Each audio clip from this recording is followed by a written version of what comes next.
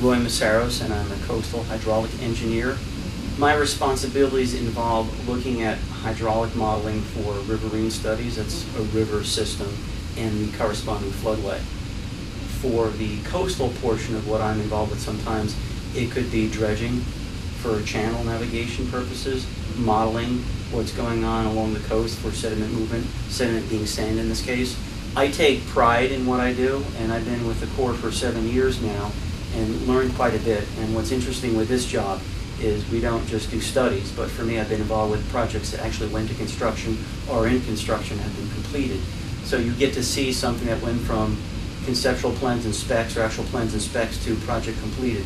So there's great satisfaction for a riverine project like Green Brook, like the Bound Brook project, because it, you're seeing what it's doing to improve the quality of those uh, residents' lives